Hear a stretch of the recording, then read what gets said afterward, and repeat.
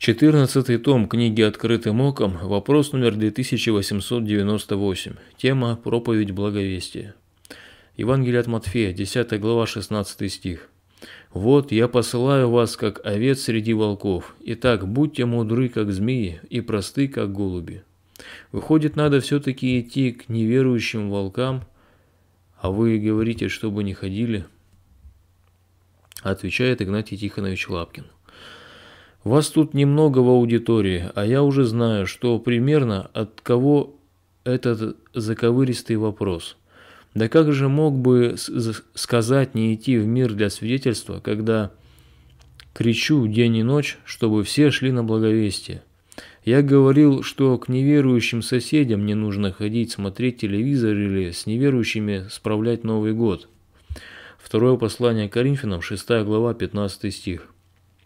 Какое согласие между Христом и Велиаром, или какое соучастие верного с неверным? Идти с целью приобрести новую овцу. Послание к Ефесянам, 5 глава, 11 стих. И не участвуйте в бесплодных делах тьмы, но и обличайте. О том, что нужно идти в мир, все мои книги, все страницы в книгах пропитаны этим призывом. И столько же там написано, сказано, чтобы не приобщаться к грехам мира, но быть светом, золотом, путеводной звездой для ищущих спасения. Нигде о благовестии ни слова, ни в, лет, ни в летописях Нестора, ни в житиях. Подтягивали не вот с тиной, не с уловом, а тину, как известно, не солят, не коптят. Строителей не царствия и правды, а храмов, колоколен и монастырей поднатащило, с тем и умер прадед, и правнуку с товаром тем стареть. Иное благовестие, иные времена, но также тешут камень, а не душу.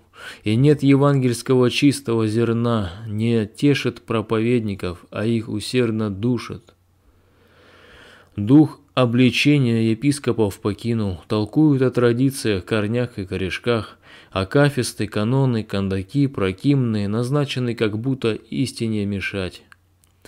Убита проповедь о любящем Христе, богослужению все силы посвятили. За сотни лет не высеяли даже двух горстей, и нищие в проповеди, отнюдь не в изобилии.